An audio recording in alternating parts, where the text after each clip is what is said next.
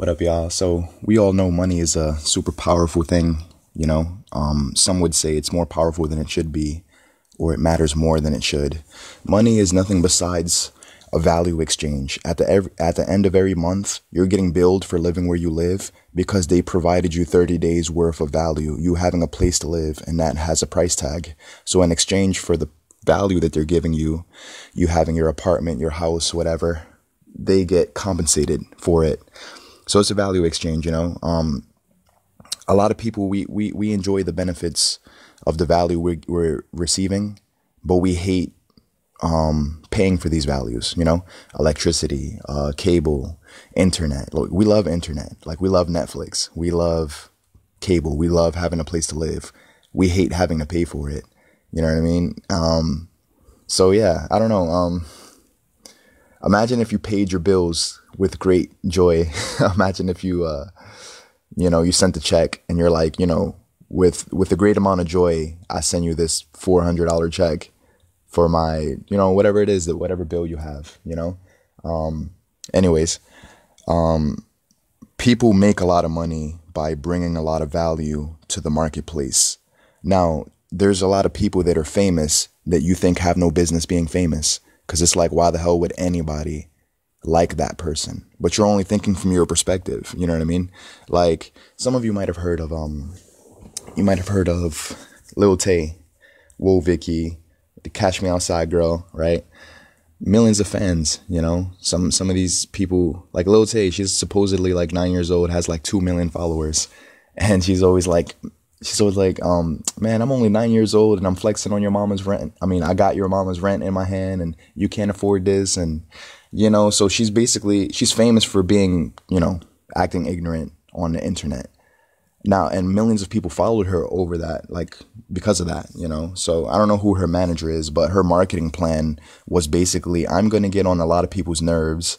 I'm going to get a lot of haters, but a lot of people are going to follow me.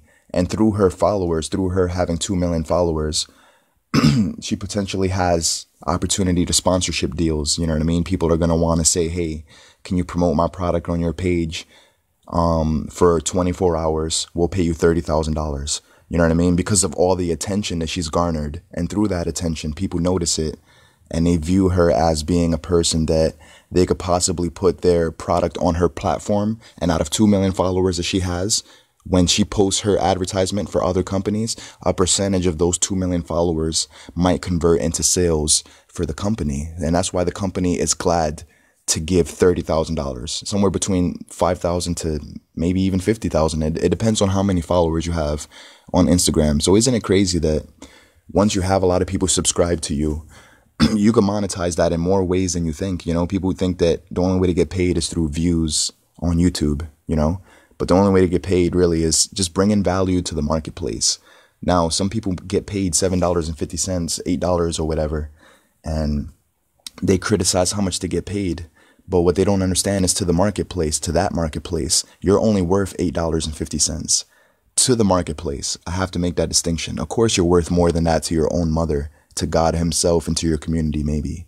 But to that marketplace, you're doing a job that practically anybody could get hired for, you know what I mean? Anybody off the street, which depreciates the value of that position when it becomes a position that anybody could take up. You know what I mean? That's why the college degree was held to such a high standard for so long because you needed to be educated to do certain jobs. You needed four years of learning outside of high school, you know, eight years, 12 years in some cases, 10 years, you know, um, to really master what it is that you have to because not everybody could do that one job. Not everybody could be a doctor. I mean, they can if they go to school, but it's a specialty and people pay more when you specialize in something, you know, and doctors that specialize in something and they're, they're more than just a general doctor are going to get paid more than general doctors. Cause if you're like a bone doctor or a foot doctor or, you know what I mean? Like, or a doctor for like neurology or, you know, like, so, you know,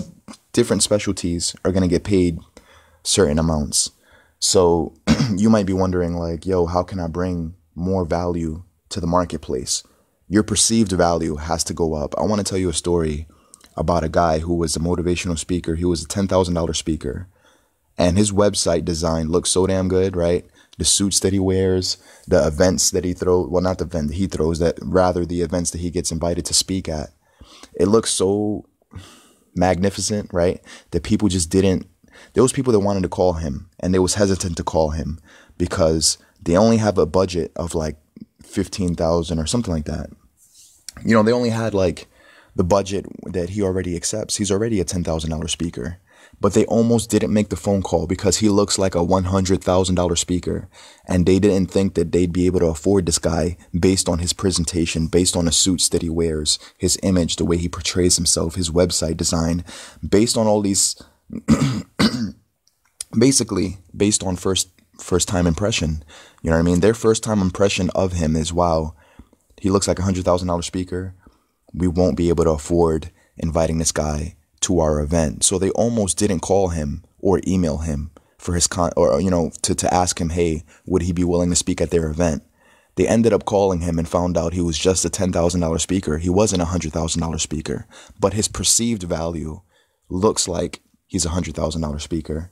You know what I mean? So that's why a lot of people, you know, they do the fake it till you make it thing, right? Because in a lot of these affiliate marketing programs, no one uh, typically people don't want to join you if you haven't made a single sale because if you haven't made any sale any any sales it doesn't give people incentive to believe in themselves and believe in what's possible for themselves. And you might say to yourself well those two things should be separated. Like just because i made no sales what does that say for you? Like i might make nothing but you might get in this business and make a killing.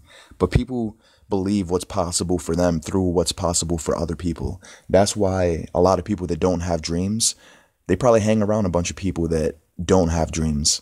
And if you if you have a sort of an entrepreneurial mindset, hanging around people that don't have that mindset, they're gonna suck the life out of your dreams because they don't believe in a possibility for themselves.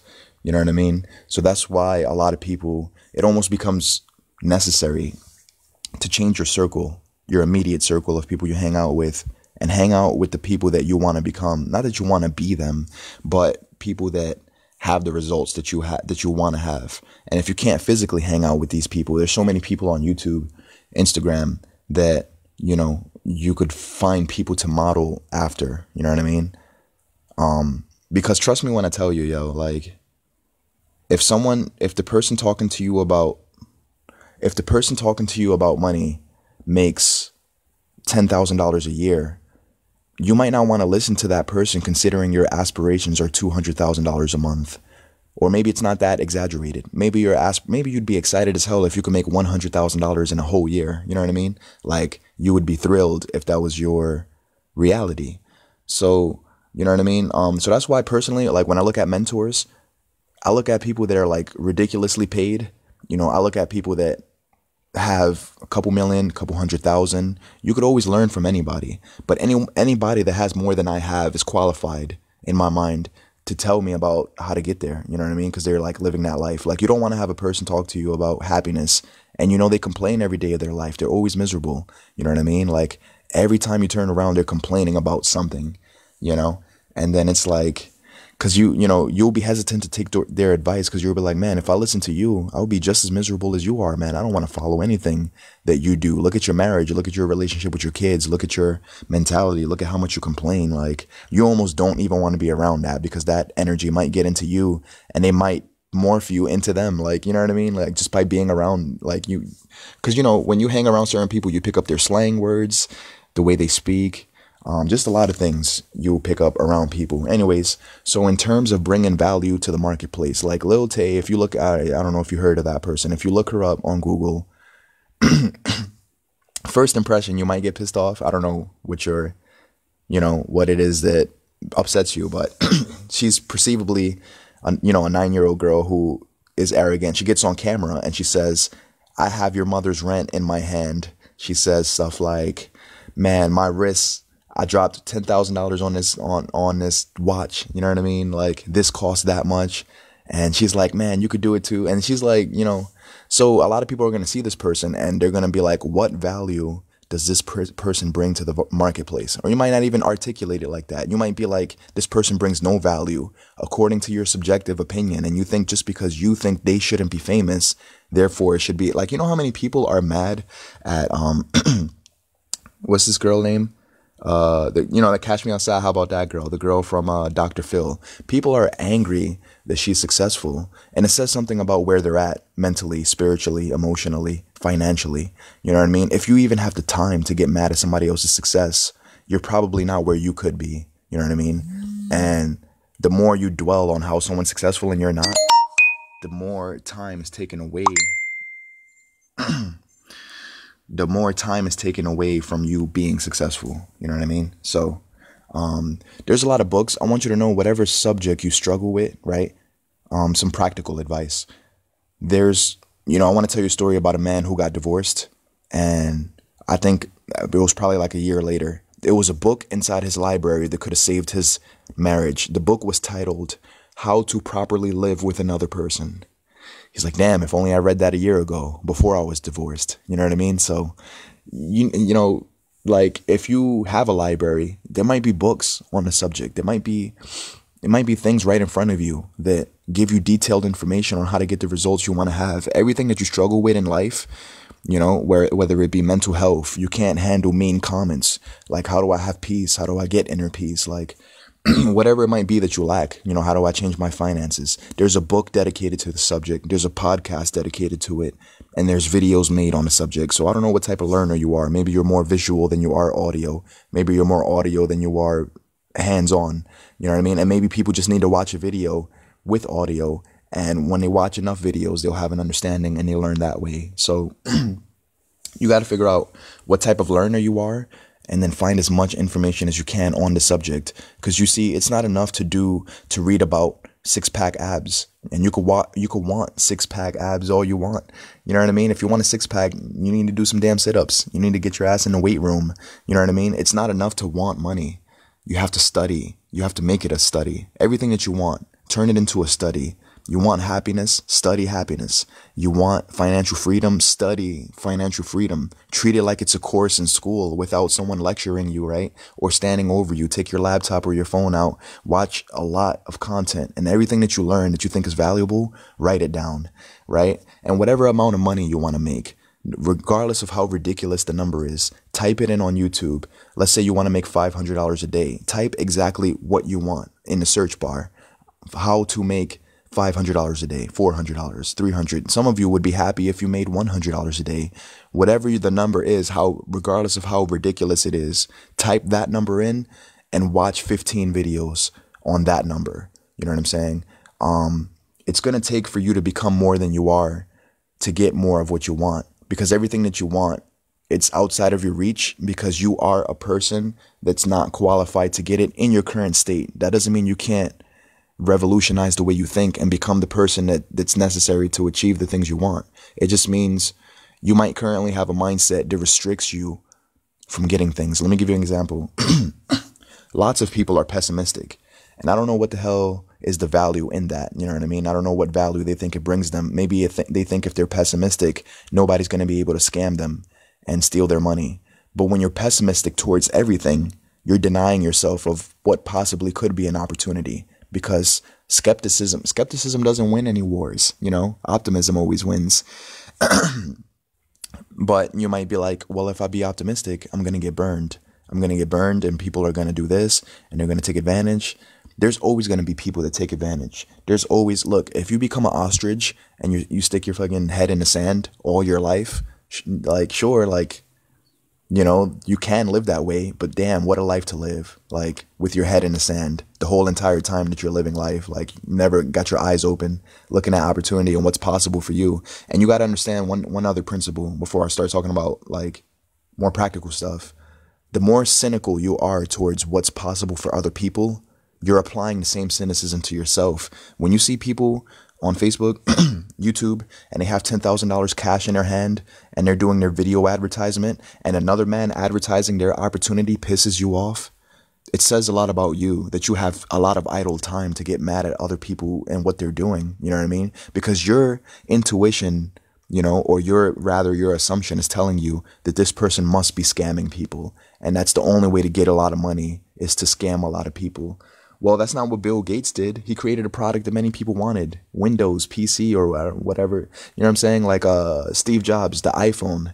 He didn't scam a lot of people. Now, you might say that a fucking phone that costs a $1,000, that's a scam, you know? But people are lining up willingly. They can't, they have the release date of the iPhones memorized and they line up just to hand off their money for a product that they believe in. How is it a scam if people are, you know what I'm saying? Like, if people are lining up to pay their money for it and in exchange for the value because like i said money is a value exchange. So in exchange for a thousand dollars you get a, a nice phone you know?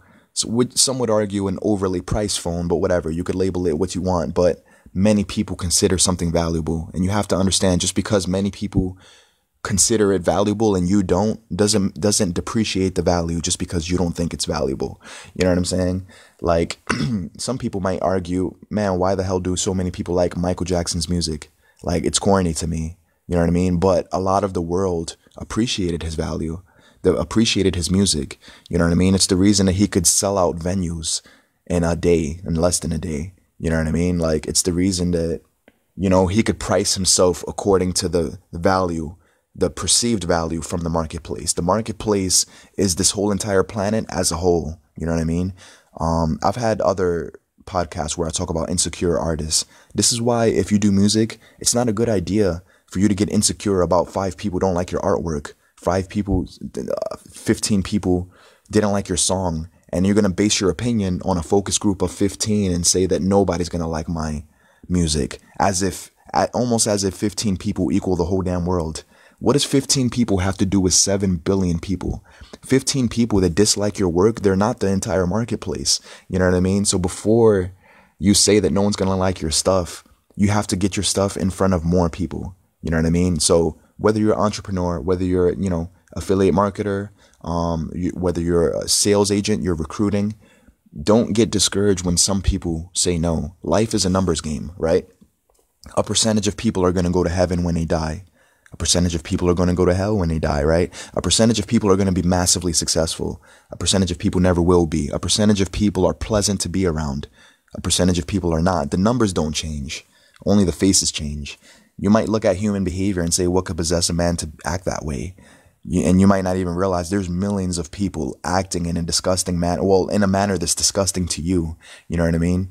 And um, life is just a numbers game, you know? Um, but saying that, it doesn't mean that you can't change what side of the fence you're on. You might think because you were born into poverty that you're destined to continue being that way. That's not true because at least 90% of people that have a ridiculous amount of money, they came from obscurity. They came from nothing. You know what I mean? Like they, they had barely two nickels to rub together. Like I saw this one picture about the startup of UPS, which is now either 100 million or 100 billion. I don't know. It was a ridiculous number.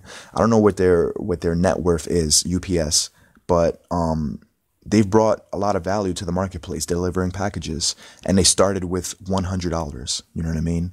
People came from obscure. They started with one hundred dollars and they rented a van or something like that.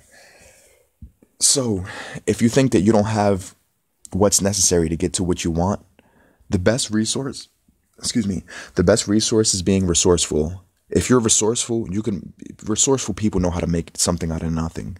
You know what I mean? Like that's what I learned in art class from from arts and crafts. Like they take obscure things and turn it into artwork. Things that don't look like they should be put together to make art, but they make art out of it anyways. It's the same principles applied to making a lot of wealth. Let me tell you about some success stories. You know, um, I, I heard a, you know, I know a story of a guy who he stood in front of a car that's not his and made a video as if it was his car. And he hit the, the beep beep sound on his keychain, right? He pressed the button on his keychain and he was like, this is what success buys you a nice car. It wasn't his car. Um, the sound effect that was coming from what perce- what seemed to be his car, it came from his car in the background. His car was parked like maybe one or two vehicles behind that car, you know? So it made it seem like that was his car. But off the strength of that video, he made his first sale and started making a lot of sales. So even though his success started from a lie, you know what I mean? He's still successful now. And I'm not promoting lying to get to where you have to get, you know, but what I'm saying is like that determination that he had. He said, "Yo, I have $1 in my bank account. he felt like he had to lie. That's why he did it. You know what I mean? He felt like this is what I have to do to get what I want. You know what I mean? And I'm not advocating for that, but what I'm saying is when you're that damn desperate, nothing stands in your way. You know what I mean? When you're willing to do whatever. Now, hopefully, people don't develop an attitude where they're willing to uh, get the best out of people and manipulate people's behavior into buying something that you know is crap and you know doesn't bring any value. You know, like mom, you know, uh, I know a person who got scammed out of $3,000. It was a consolidation thing, you know, and it was fake as hell. Like they didn't do any work. They just took the money, you know, so it sucks that people like that exist, but life is a numbers game, you know, people are, so a percentage of people are going to be scammers. When I started caring about network marketing and making a ton of money online, um, it was 2014 and I saw a guy named Darren Fryer. He was 22 years old talking about I have 20,000 I make $20,000 a month, $30,000 a month. I never once, not even for a, a, second, not even not even for a moment did I say there's no way that's possible. You must be lying. I need to see proof. I didn't get cynical about it. I just instantly believed it. And more than I believed his story being authentic, I believed in that possibility for myself. So my belief transcended beyond is he a liar or is he not? is he is his Lamborghini rented or is it not? Is this hotel rented or you know what I mean? Or does he this house rented? Does he actually live there? You know what I mean? Like are these people in his video paid actors? Did he pay them to say this? Like I didn't think any I don't even know how to think like that. I only know how to think when I see things, do I want it? Yes or no? That's it. I don't care if someone's lying to make a living. You know, that has nothing to do with me. You know what I mean? And I, I don't even think it's my place to have an emotional response to that, a negative emotional response to people shouldn't advertise this way and they shouldn't do this because what I think shouldn't happen continues to exist with or without my permission. You know what I mean? Like a lot of people don't believe in God because of the concept of hell and they think what type of loving God would send people to burn etern- eternally, right? But if hell is real, right? And if it is eternal, what you need to understand is it exists with or without your approval, with or without your permission. So there might be famous people that you think shouldn't be famous. It won't make them any less famous just because you think that they shouldn't. And a lot of people who can't control their emotions respond to videos that aren't worth their time consuming and they'll put comments, man, this guy's a bozo. This guy shouldn't, you know what I mean? Feeding, feeding the trolls, you know what I mean? Like Lil Tay literally got famous off of people who are incapable of controlling their emotions. Not that they're incapable, that's a bad word. At the moment, they're incapable because they don't know how, because they impulsively react to everything that's not worth their time reacting to. And all the time they spend reacting to life, they never spend any time living life, you know? All the time they spend escaping from life they spend zero time trying to create the life that they don't have to escape from. You know what I'm saying? So, anyways, so how do you bring more value to the marketplace? You have to become more valuable. So, what does that mean? Some people do it by getting degrees, by getting certificates. That's one way, you know. Uh, I know that the degree model is fading, and a degree is not worth half as much as it was 35 years ago. You know, it, it, used to mean a lot that you came from Yale and you came from Harvard. I mean, it still means a lot now because like the, the brand of the school is so high. And that's why the school doesn't take anybody. That's why eh, not anybody could go to Harvard. You have to have certain grades. They don't accept because you have to have you have to be a certain standard of person. You have to be a certain type of person to get into Harvard, to get into Yale. And that's why you have to qualify to get there. You know, you have to be a certain type of person to physically have the body that you want to have. You know what I mean? Like you're not qualified to have six pack abs and you're not willing to do any push ups. You're not willing to go in the weight room. You're not willing to, you know, so a lot of people, they want wealth, but they're not willing to climb the mountain. They just want to teleport there and they wish they could teleport and they hate the process of climbing. And that's why they never take the climb because they just want things without planting any seeds.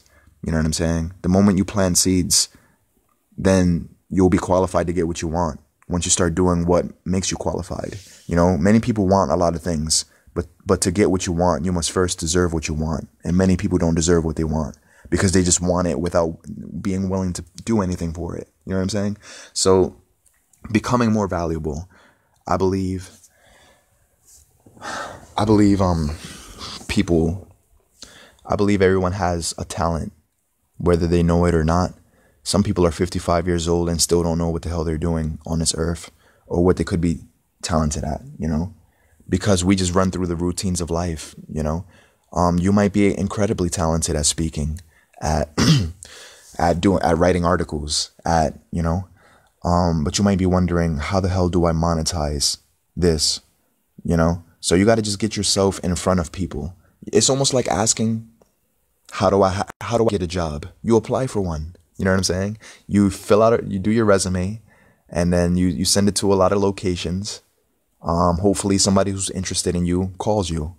You know, and so that's how you, you know, apply for a job. But you know, it's it's crazy. Like, there's a disconnect between being massively successful and applying for a job. You know what I mean? Like, almost no one has to tell you that. Obviously, you apply for a job. Otherwise, you won't get one. Who's gonna know that you want a job unless you fill out a resume? Unless you do your resume and you submit it. Like, no one's gonna know that you're interested in that position. You know. And the purpose of the resume, they want to see how qualified you are. Well, similarly to like, let's say you want to make a million dollars, right? And here's something I learned. Here's what all the rich people have in common. They're bringing value, a lot of, not only are they bringing a lot of value to the marketplace, they're serving a great multitude of people. You know, um, Steve Jobs, his, the iPhone, he sold it to 1 billion units. 1 billion units of the iPhone has been sold so that's a lot of people. I learned that there's nothing to gain without servitude. Um, you have to serve a lot of people to get a lot back. You know, you have to love a lot of people to get a lot of love back. You know what I'm saying? So there's a scripture in the Bible that says, you know, God saying something along the lines of, you love me because I loved you first, or something like, you can't love me first, you know, without me loving you first. So through God loving people, people eventually love him back. You know what I mean? Um, but it would be different if God did nothing that, you know, deserved your love, you know, if he was just sitting in heaven expecting your love. So there's a lot of people on earth just expecting to be, whether it be famous, whether it be money. And we have skewed visions on money, right? Let, let me talk about some of the things that's going to keep people broke indefinitely until they die forever. Never going to have money because their thought process about money. First of all, they think it's evil for them to want a lot of money, right? And people just don't want millions of dollars. Well, they don't know what they want to do with millions of dollars, right? So that becomes the reason that they don't want it. Um, the amount of money that I want is whatever money I'm capable of producing. That's the amount I want. So I don't know if I'm capable of $10 million, but if I am, I want it because it's within my capacity to do it. And once I get it, then you know, I guess maybe once I get it from there, figure out what the hell am I going to do with it. I obviously don't need that much money, but broke people, if you have huge ambitions, maybe you want ten million dollars, they're gonna make you to be a like like a tyrant or something. Make it seem like you're a tyrant just for wanting a lot, just because they don't want a lot. And people that don't want a lot will try to convince you that you shouldn't want anything either. You know, people take their subjective opinion and try to make it an objective fact inside of someone else's head instead of saying, hey, you know, like, I don't want a million dollars, but who the hell am I to say what you shouldn't want for yourself or your family or your community, right? Um, so, Bill Gates, right, if I'm not mistaken, I believe it's him, wants to take out the top five diseases in the world. It's probably a good thing that he's rich. It's probably a good thing that he's rich considering his intentions. He wants to wipe out malaria, right? So you need money to do that. You know, everything that you want to do, you know, pretty much, it requires money to do it. You know, um, people think money makes you evil. If you're already an evil person, that's gonna get exposed when you have a lot of money. You just become that much more wretched, right? But if you're a good person to the core, that only get that only gets amplified with you having more money. If you're a giving person, you being able to give more of course, you'll be able to give more if you have more to be able to give.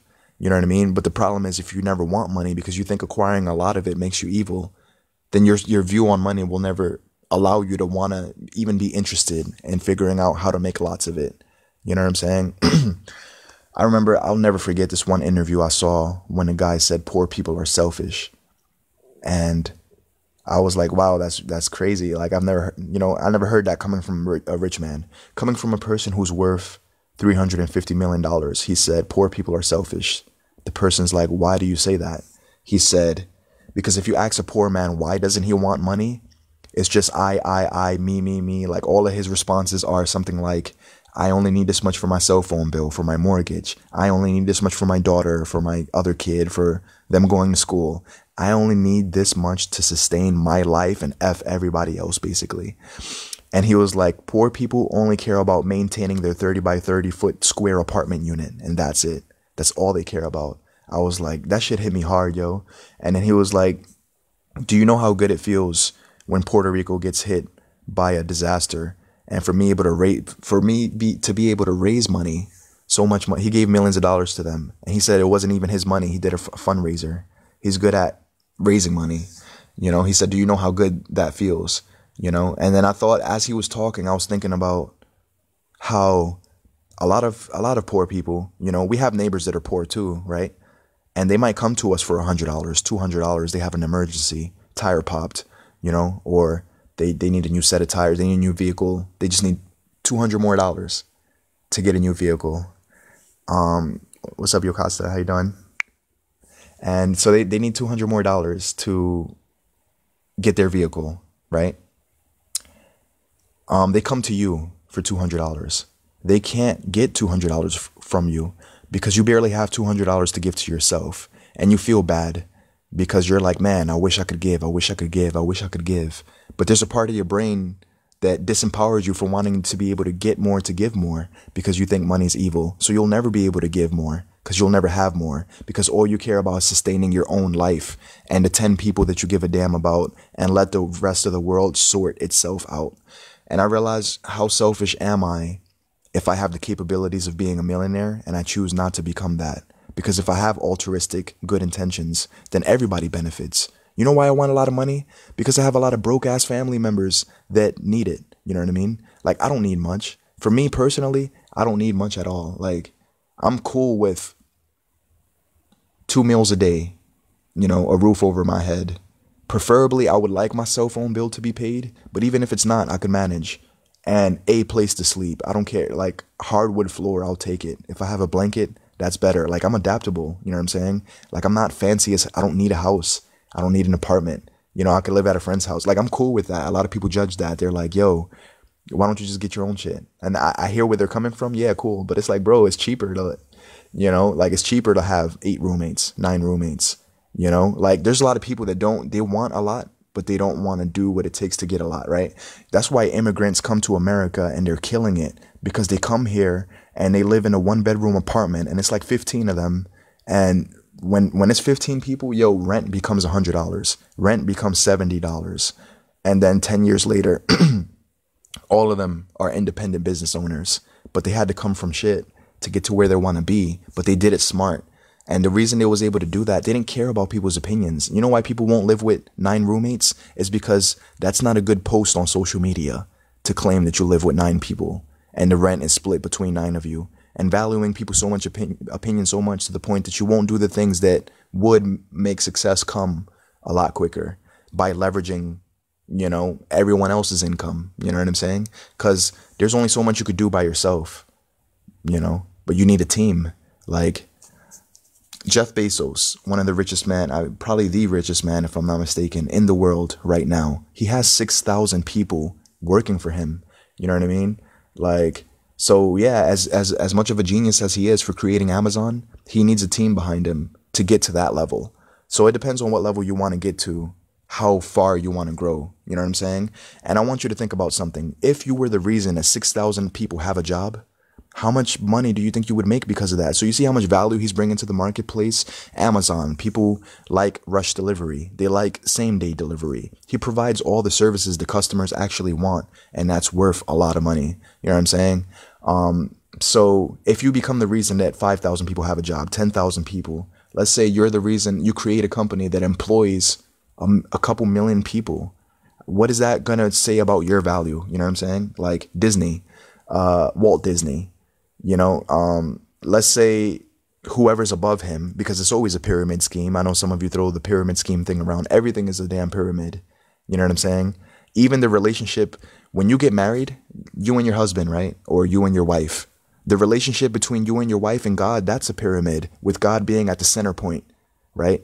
And you two being at the bottom two angles of the triangle, you know? And in that pyramid, the more, the closer that the two individuals get to God. As you rise up, you get closer to God, but you also get closer to the center point and you meet in the middle and you get closer to each other. You know what I mean?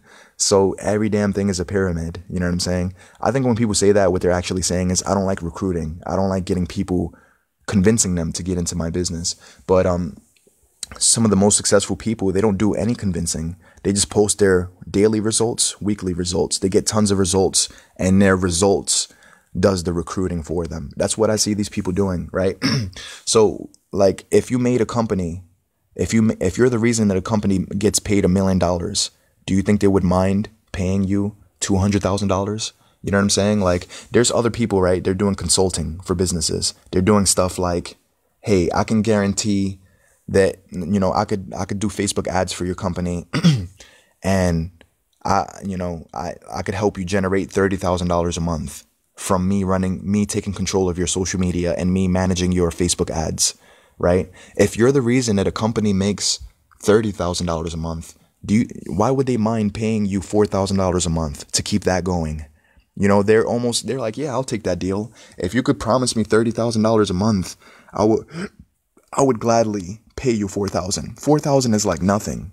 Even 6,000, maybe, maybe 10,000. If you, if you made me more money, I could, I could cut you a bigger deal if you bring me a lot more customers. You know what I mean? So that's that's consulting. People are doing consulting on Facebook, Facebook ads. That's one thing that people could do. Um, selling things on Shopify, right? Amazon, eBay, um, whatever it is that you.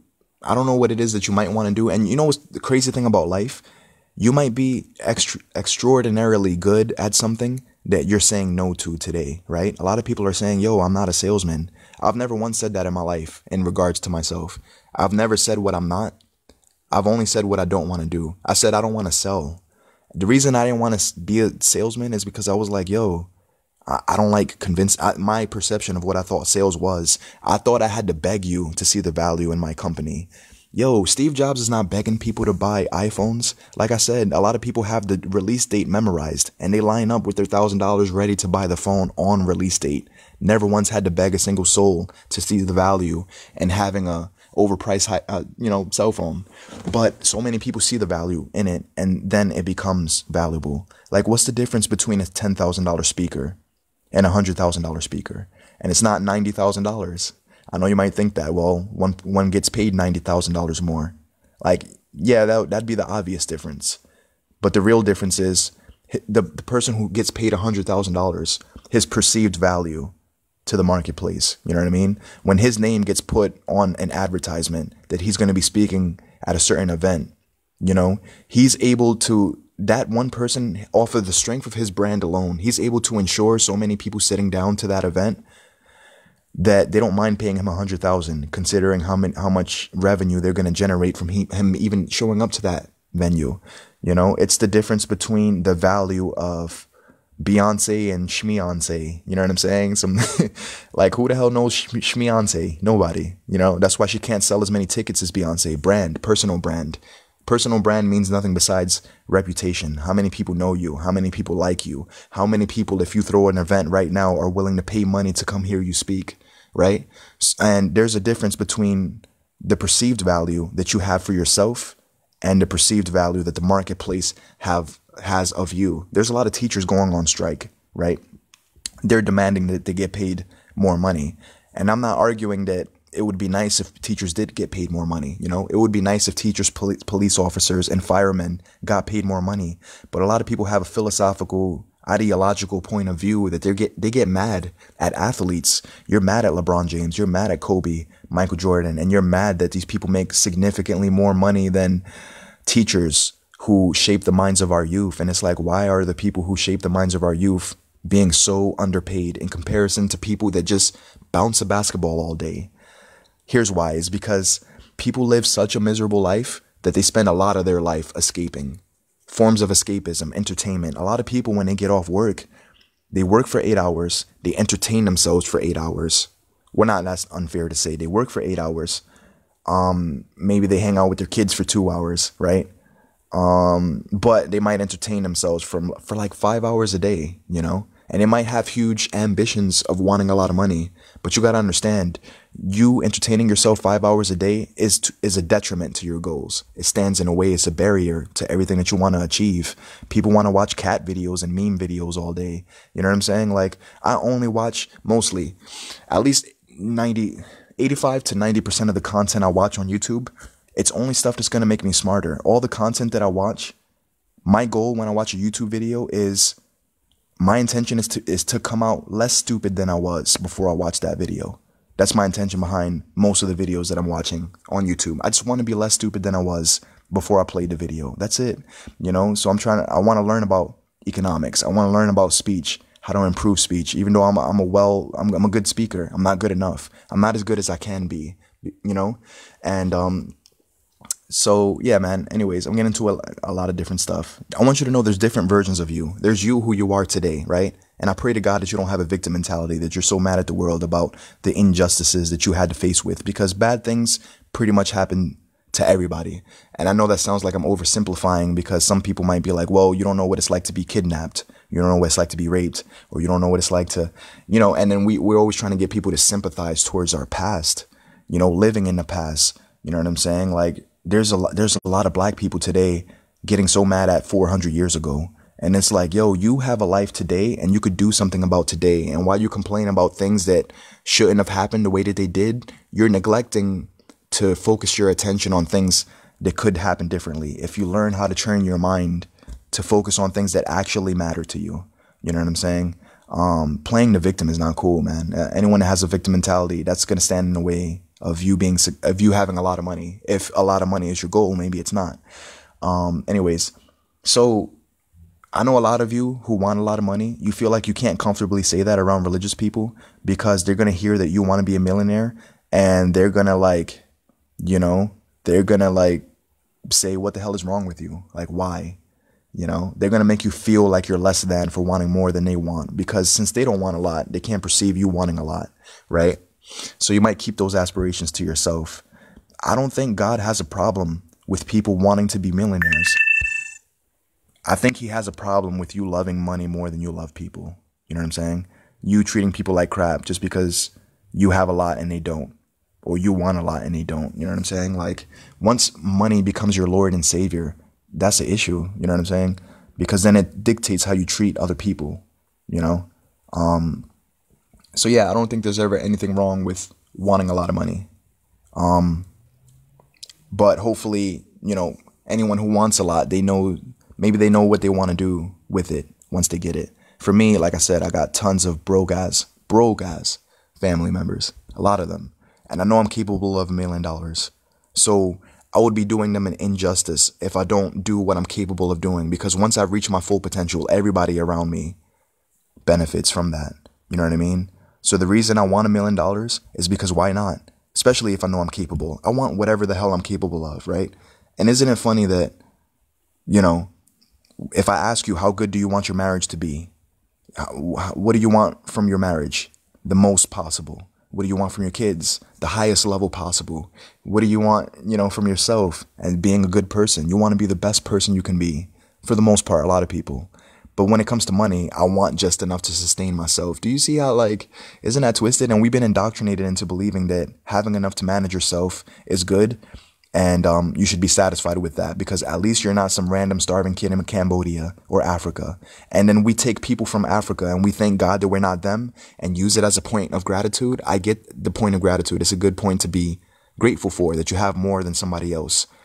But what does it matter if you have more than somebody else if you're not living up to what you could be and what you could have. You know what I mean? You might be like, well, I don't want that much. You know, why? Do you think it's going to ruin your life? Like, people are so, like, you know, people in poverty are some of the proudest people I've ever met. They have nothing and they're absolutely content with it. And they're good being there, or so they tell themselves that they are.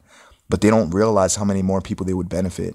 You know what I'm saying? So, anyways, so I want to talk about the difference between Jay Z, right? Or the difference between uh, Eminem and me. What's the difference?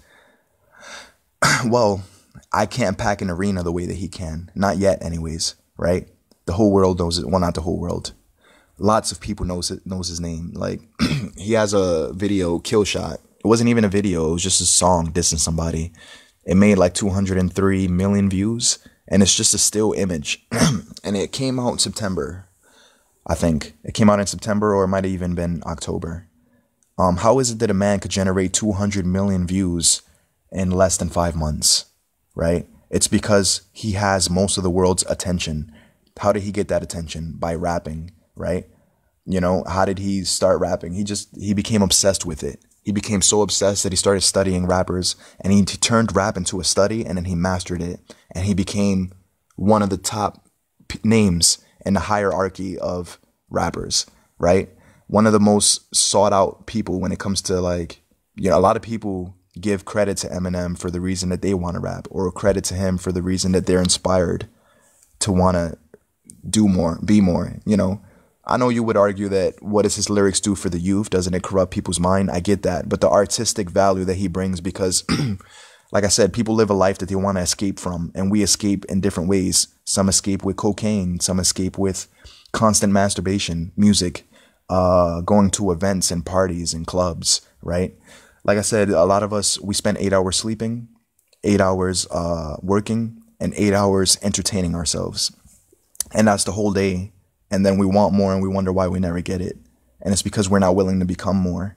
So you, you have to grow in your mind. You know what I mean? You have to, you, you have to grow in what you believe is possible. You have to believe that more things are possible. Um, so that more could be possible for you. You know what I mean? Like, give me a second. Because if you don't believe that too many things are possible, then guess what that means for you? That means to you, too many things are not possible. For you specifically. Because it won't be. Because if you don't believe, then you won't have what it, you won't even try to find out what it takes to be all that you can be. Because you lost before you even began by doubting yourself. Doubt is so poisonous. Doubt stands in the way of so many things. And, you know, sometimes we doubt because it was, that doubt was given to us by other people. You know what I'm saying? When it comes to being all that we can be, all of us have had people tell us that we're not shit and we're never going to be shit and we're not, we're incapable of doing things. You know what I mean? And it becomes your truth if you embrace it as true. And you're like, you know what? Maybe they're right. Maybe I should just get a regular job. Why should you be regular?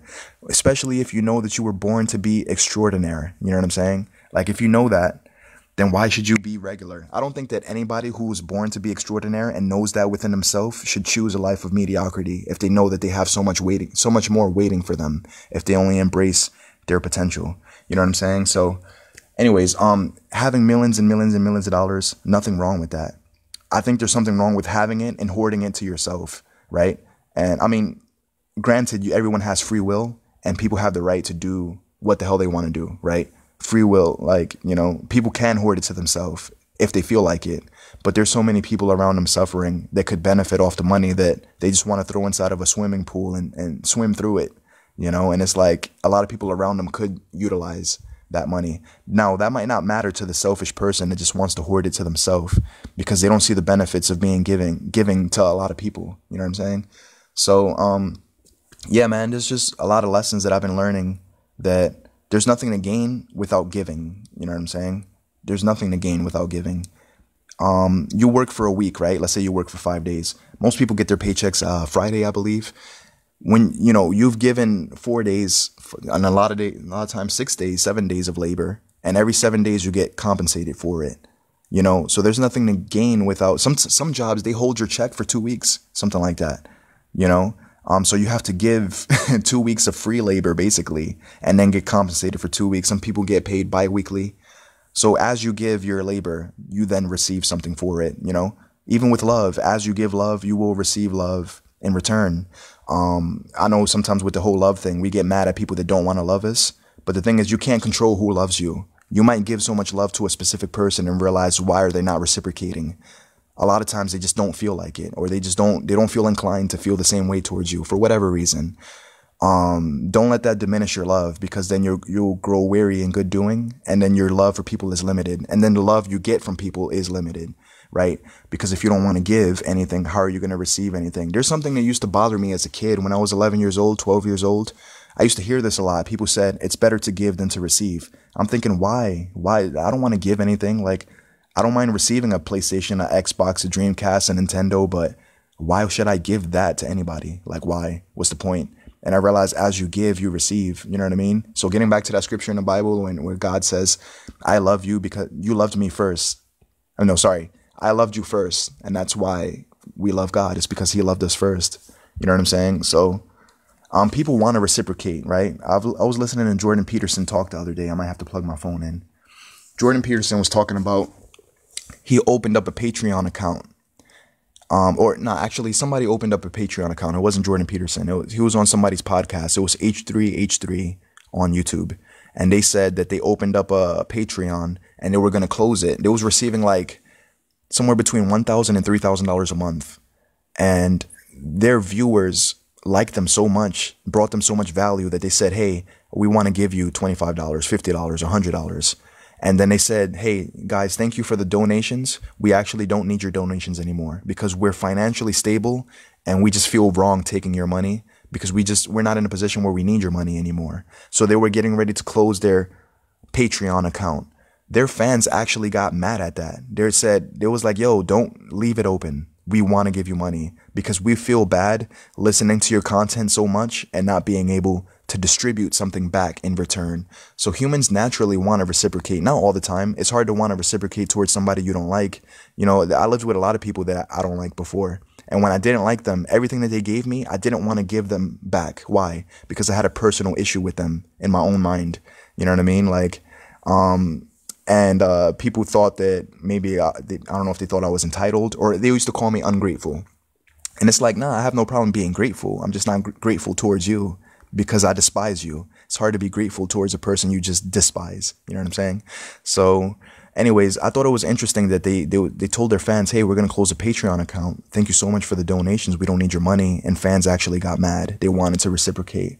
You know what I'm saying? So, I know that I, I really believe every person breathing has some type of gift, some type of talent, some something that they would be extremely good at that they could even monetize and make a living off of, whether it be art and something about artists, man. You know, people for some reason don't want artists to thrive. They feel like they sold out once they open up Patreon accounts or once they start taking money from the public. Like it's almost like people want people to be a starving artist or I don't know what's wrong with people, but it's like a lot of people who claim that they know that they they themselves they would want money they would want to be compensated for their art, for their music. Um, this happens a lot with Christian music, Christian rap.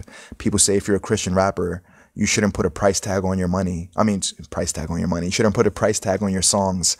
And it's like, but why? Why shouldn't I? You know what I'm saying? Like, so I don't know, man. Like, please don't listen to people like that that tell you you shouldn't try to monetize. You know, um, one person I really like, Gary Vee.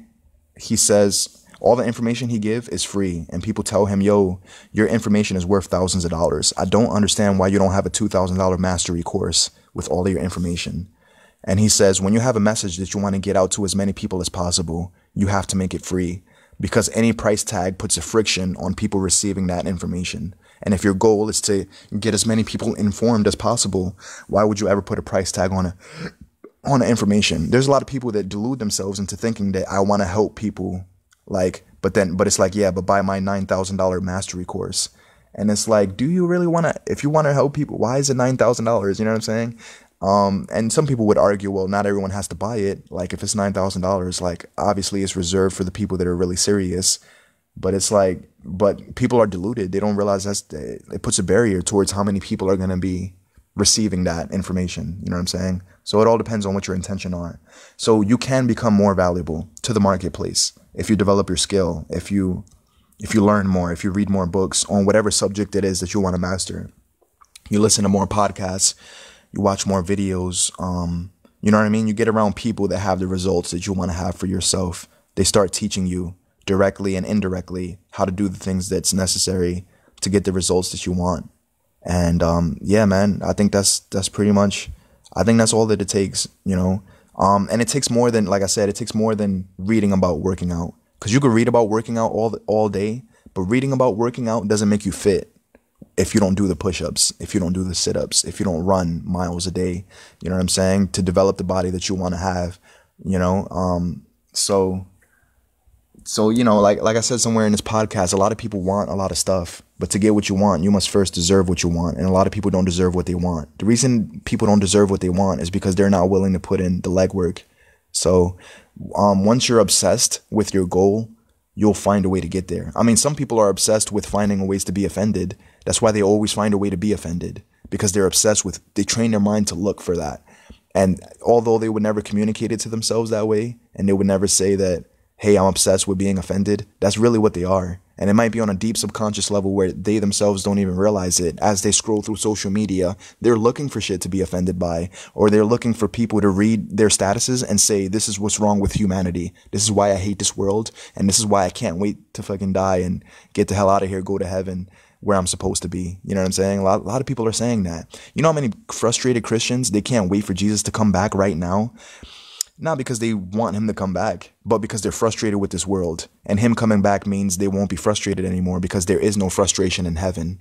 So it becomes a self self seeking like Jesus come back now so I could so you could take away my frustration instead of Jesus teach me how to navigate through the frustration. Teach me how to not be frustrated constantly because when you were here on earth you wasn't constantly frustrated. So how can I have the level of peace you had because if I have your mind state I'll share the same victories that you had. You know what I'm saying? So, so much more of a powerful place if you start saying, I wish I was stronger instead of wishing that people would be less mean because people won't cease to be mean just because you think they should. You know what I'm saying? Like the next podcast, I'm going to go pretty soon. I'm going to stay for a couple minutes, but the next podcast, right, to give you a preview of something I want to talk about later.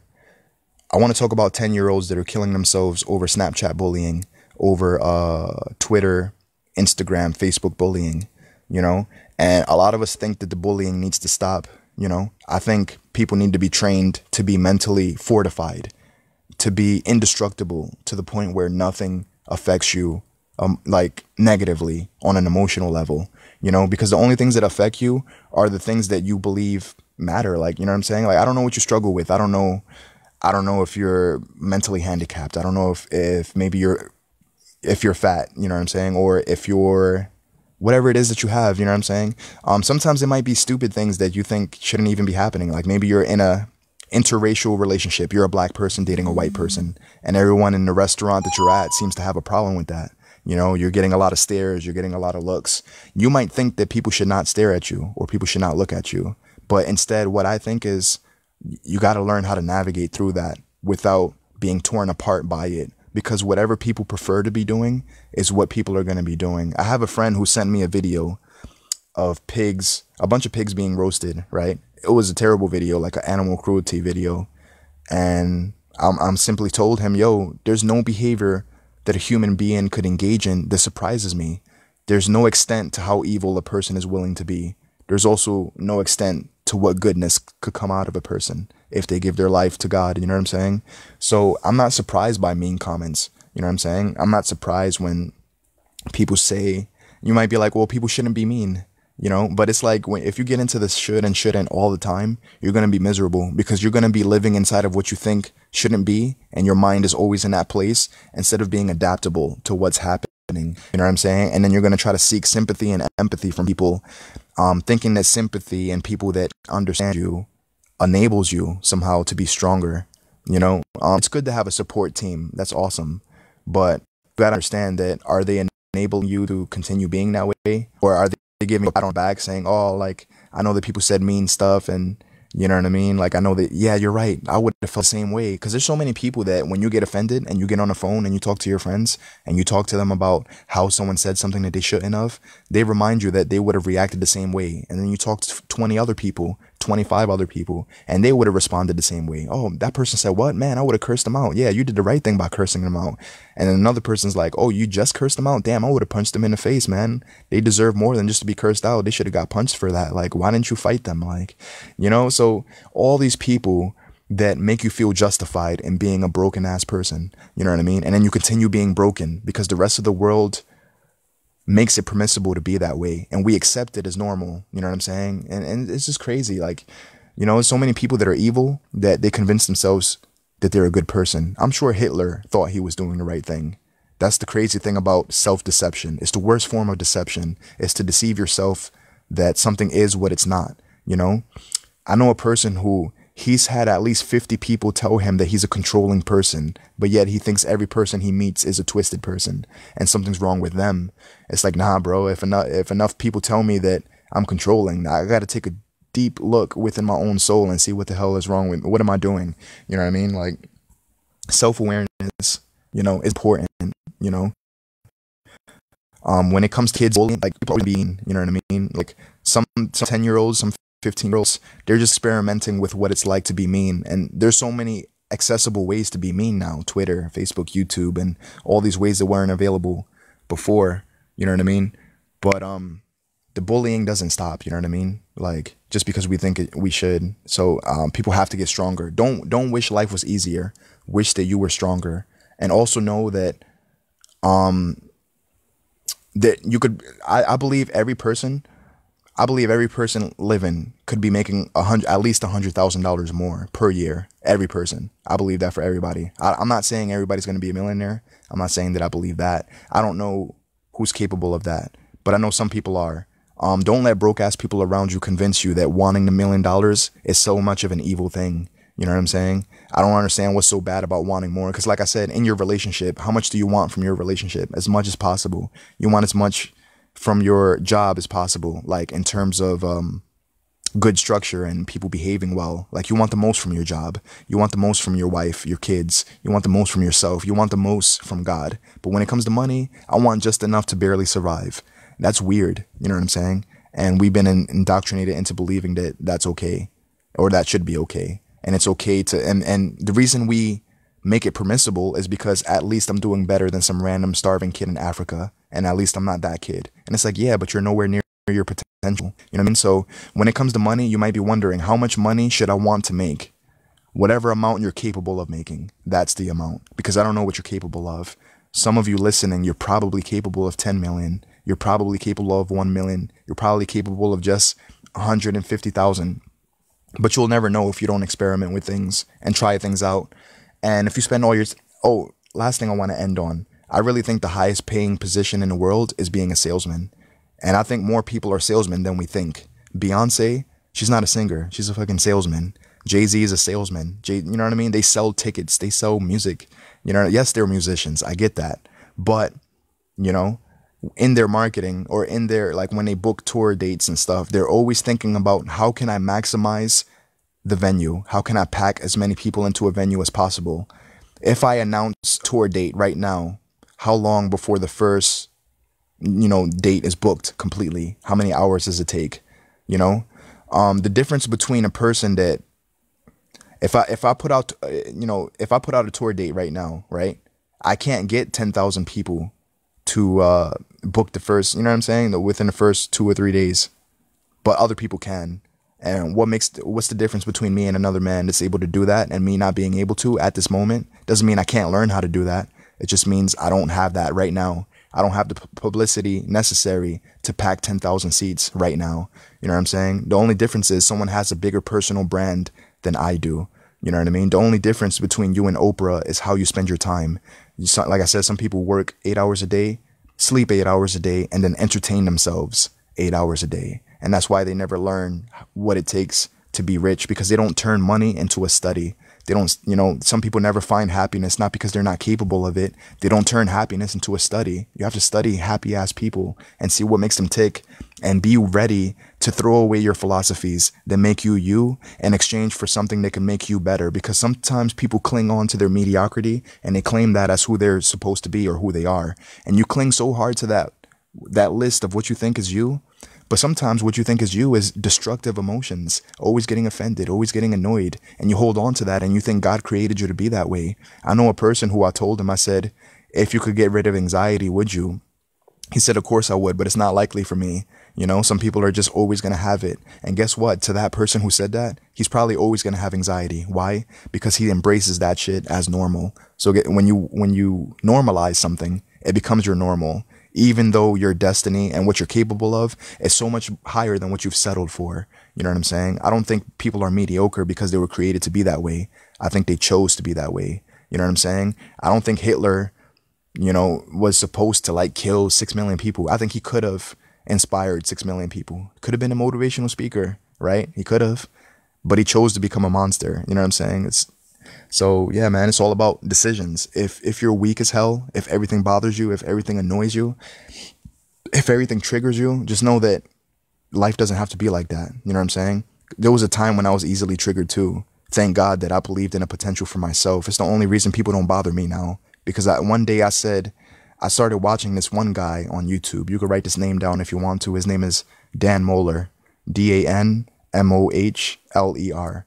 And he just has a perspective that I believe keeps him whole. He has such a good perspective that if if he was my friend, I don't know this guy personally, but I would never ask him how he's doing. I know how he's doing.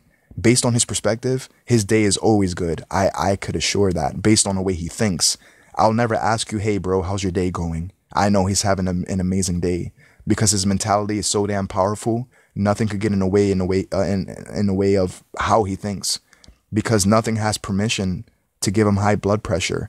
Nothing has permission to get under his skin, to annoy him, to disturb him, to be the reason that he hates society because he loves all people. You know what I mean? Nothing can trigger him because he got rid of his buttons.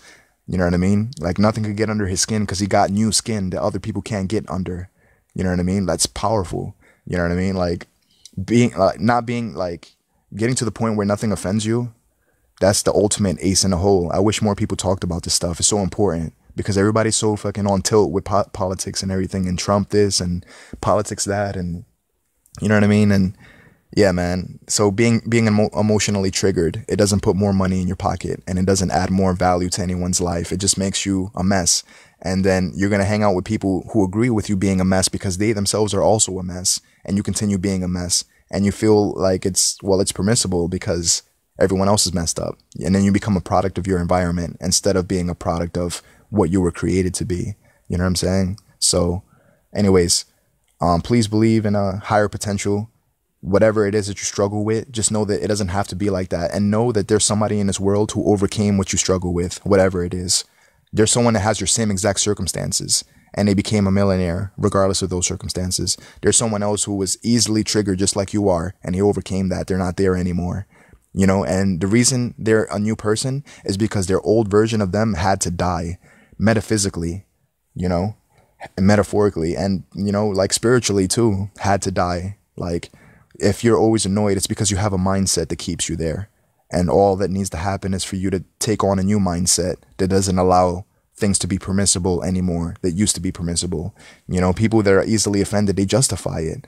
You know, every time they get offended, they're like, well, I wouldn't have cursed at you or I would have never punched you in the face if you didn't say these set of words, which means that it takes a certain set of words for you to punch, punch someone in the face, which means anybody on this planet can say those set of words and it triggers the devil coming out of you in that specific scenario. Because all it takes is for a certain criteria or standard that you have to be violated for anybody to manipulate how you behave. And now you're in prison or what now you're i don't know now you're somewhere you don't want to be locked up for doing something to a human that you wish you didn't do if only you knew how to manage your anger you know or, or rather get rid of it. I'm telling you it's possible. You know what i'm saying? You don't have to be an angry ass person because it doesn't benefit you or your household being that way it only ends in you arguing with your wife and then your kids being bearing witness to it and then your kids having the same dysfunctional relationship that they witness you having and they become a product of their messed up environment.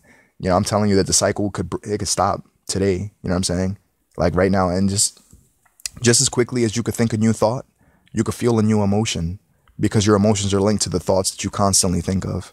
You know what I'm saying? So if you're always thinking about how you were raped, you know, it's gonna it's gonna feel like you got raped three thousand times, if you think about it three thousand times. Because do you know that your mind can't tell the difference between something you vividly imagine and something you're actually experiencing?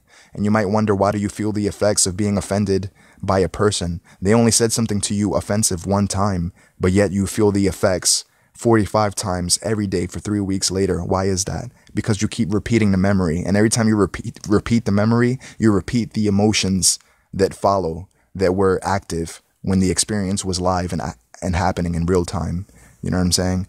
So you just got to change your focus. You got to change. You got to focus on things that are worth your time focusing on, such as those things that you want to accomplish before you die, because you have a limited amount of time to be alive, and you don't want to spend all of it being vengeful and being bitter and being mad at the world because no one wants to help you or no one cares about you or no one you know like even if that is true even if no one does care about you it doesn't mean that you can't become the motivational speaker that you know you're capable of, or the rapper you know you're capable of being, or the artist, the painter, the fucking whatever it is you want to do, and inspire many people who had the same insecurities as you. And you could become a beacon of hope for everyone else around you who didn't believe in a higher potential for themselves until you came around.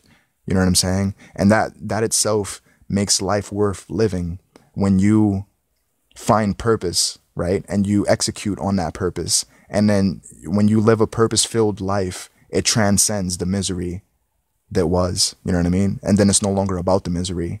It's about trying to eliminate as much misery out of other people's life as possible because you become that beacon of hope that they look forward to for inspiration because they know that if you can do it, then they could do it too. And then you empower people instead of being a disempowered person that changes nothing and, and accomplishes nothing besides complain about circumstances not being ideal.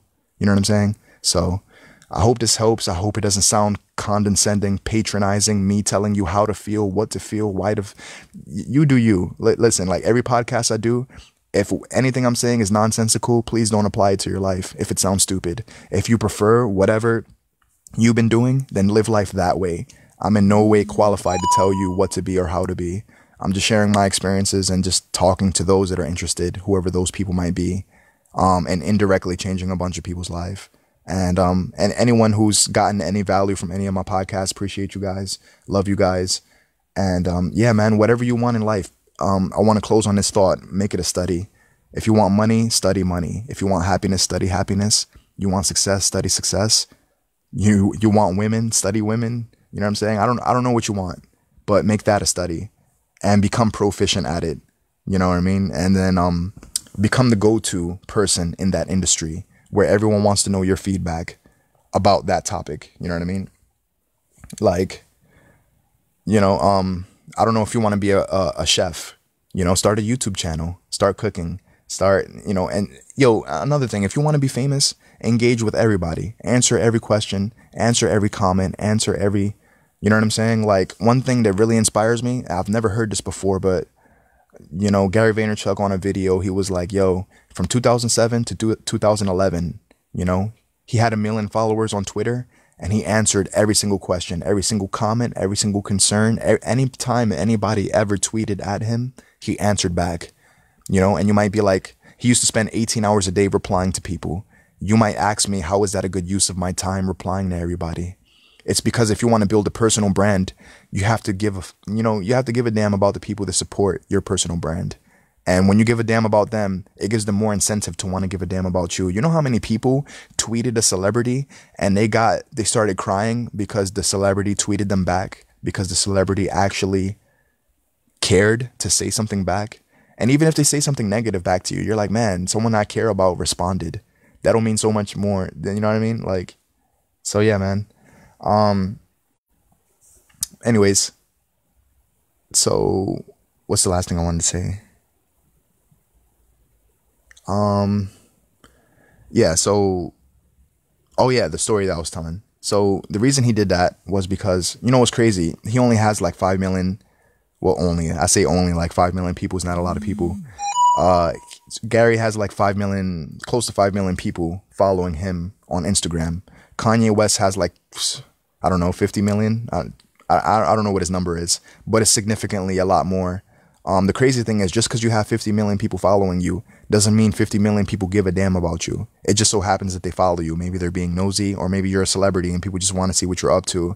But it doesn't mean they support your personal brand. It doesn't mean when you release a sneaker that you're going to get 50 million sales because 50 million people follow you. Because you might have 50 million people that follow you and only 100,000 that deeply give a damn about you. You know what I'm saying? So the crazy thing about life is, you know, you might have 100,000 people that care about you, even though 50 million are following you. Meanwhile, someone has 5 million followers and they have uh, 600,000 people that give a damn about them. That's the difference in sales. That's the difference in selling a book. You know what I mean? Um, and that difference is created when you interact more with people. You know what I'm saying? So one day he released a sneaker and there was more people waiting in line for his sneaker than there was on the release of Kanye West sneaker. And you might think that's ridiculous considering someone has 50 million followers. Why wouldn't their sneaker line be longer for the release date? It's because Gary Vaynerchuk replies 18 hours a day to people and people don't forget that and then they love you and then you know when they when once people love you other people's love for you can be monetized i know that sounds like crazy some people going to think i sound like a demon saying that oh what are you why are you monetizing people's love what i'm saying is like like i said like the person who had a patreon account and they used to receive somewhere between $1000 $3000 a month and then they humbly stated, Hey, we don't need your money anymore, but thank you so much for the support. We're going to close down the Patreon account. People actually got mad. Their fan base got mad and they said, Keep it up. We want to keep donating. So they kept it up because people don't like receiving without being reciprocal a lot of times. You know, there, there are certain cases where we don't want to be re- reciprocal towards people we hate or don't like. But normal, under normal con- conditions, when someone really inspires you, you really want to give back in some way, shape, or form and some people almost feel indebted to the person, you know? So that was Gary Gary Vaynerchuk's um marketing plan is to guilt trip people into feeling like they have to what you call it pay him back without once telling them that. Like he never once tell them hey i've given you so much value therefore you should be doing this for me. Never once says that. He's like yo look i have a sneaker coming out. If i've given you any value and if you feel like buying it here's where you can buy it. But don't you know, like don't do it if you don't have it. You know what I'm saying? Like my sneakers cost like 50 something dollars or whatever. He'll be like, yo, if you don't got it, you don't got it. I understand life is hard. I don't want you spending your last $50 on my sneakers if it doesn't benefit your household for me to, you know, it doesn't benefit your household for you to do that. You do you. But if you feel like you want to buy them, here's the website. You know what I mean? And, and he says all the time when he releases books, if you can't afford my book, even though it's only, you know, my book's only $10, but if you can't afford that, I want you to pirate my book. He says go pirate it. Go go download it illegally on some website. You know, if that's the only way you could get access to it because I believe he genuinely cares about whatever information he has access to, getting it out to as many people as possible, even if that means him losing a sale and someone pirating his book through an illegal website. He encourages that. Why? Because he gives a damn about people getting access to the information. Because it's not about selling a $4,000 mastery course. I think that's awesome. You know what I'm saying? Nothing wrong with a four thousand master four thousand dollar mastery course. Everyone has different motives and intentions, but you know what I mean. It just puts a barrier to how many people are gonna buy it. Anyways, um, so yeah, man. So you just gotta you gotta learn more to get more. You gotta become more to have more, and everything that you want in life is on a top shelf, and you gotta stand on the books that you've read to get to that top shelf. That's how you get the things on a higher shelf. And if you're not a reader, Thank God for audio podcasts and stuff like that. If you're not an audio person, thank God for videos. There's so much, so many ways for you to consume information. Whatever information you want to consume, you don't have to consume it through a book. Thank God for me too, right? Because I hate fucking reading. I don't like reading. You know what I mean? But I, I love the hell out of some damn watching videos and listening to audios. That's my thing. So, anyways, um, so yeah, man, please believe in your potential. I believe in you. I don't know if that means anything, but I know that if if there's anything inside of you saying that you can do something, don't listen to your pessimistic, ne- negative ass family members or relatives or neighbors that say you can't do something that you yourself know you're capable of doing. And if it breaks your heart every time you share what you think you're capable of, only to have someone shut you down, maybe it's best you keep your dream to yourself until you execute and manifest your dream into reality. And then then talk about your dream once you manifest it. You know what I mean? Some of you won't be able to handle uh, getting shut down by other people's pessimism. And it's only because you value their opinion. If you didn't value their opinion, it wouldn't bother you that people say you're incapable of doing something. Like, I don't give a damn about someone saying that to me because them saying that doesn't change my belief in me knowing that I'm capable. You know what I'm saying? And I, I feel like people have the right to say, think, and feel what they want. That's why when they do say, think, and feel what they want, I'm not devastated or how could you say that? Or the audacity of you to say that, the nerve of you. How could you? I'm, I'm never saying that to people. I feel like people could say and express whatever they hell they feel like it, but it doesn't have to impose on me. You know what I'm saying?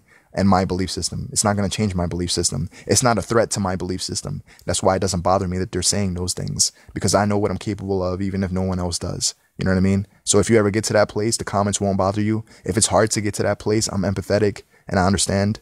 You know what I'm saying? But just know that you can revolutionize the way you think if you start seeking people that are are currently better people than you and they exemplify everything that you want to be. And as you study their behavior, you have to be willing to kill off parts of yourself. You know, it might be a painful process to realize that 95% of you is completely useless and it needs to be burned in ashes. And then, you know, something needs to emerge from that. You know, that might be painful to come to that realization to know that 99% of you is completely useless. But it's an amazing, it's amazing once you do burn off 99% of you just to have that, you know, um, that part of you replenish with something better than who you was yesterday. You know what I'm saying? So growth is important, you know? Um, cause like how many years do you want your daughter to be in fourth grade approximately? One year, you know what I'm saying? Um, a lot of times we get out of high school and we just don't grow after that. Or we get a college degree, we don't grow after that. And then we're the same person we was at 25 at 79. You know what I mean? And don't grow at all a lot of times. You know, and a lot of people die at 25, but they get buried at 65. They're just a walking corpse with no dreams because society and humanity has sucked the life out of their dreams and whatever they used to think was possible. And isn't it crazy that as a five year old, you think anything's possible, but as an 18 year old, you fucking question everything and nothing's possible to you anymore unless it seems realistic. You know what I mean? So much unrealistic shit happening. I mean, you know, if you dig up a man from 500 years ago, like, he would think it's super unrealistic to even think that I could take out a smartphone and I'm talking to, I got like 950 friends. I have no idea how many people are listening live this shit is like witchcraft. Like, you know, he'd be like, yo, what form of sorcery is this that you pull out a smartphone and you reach so many damn people? Like, you know what I mean? Like, this shit is not realistic. This damn smartphone that I'm talking you, talking to you through, it's not something quote unquote realistic, but yet it exists. Why? Because a man demanded that it does. So start demanding that things exist in your life and it will. And I'll leave you on that note. See you on the next podcast. Take care.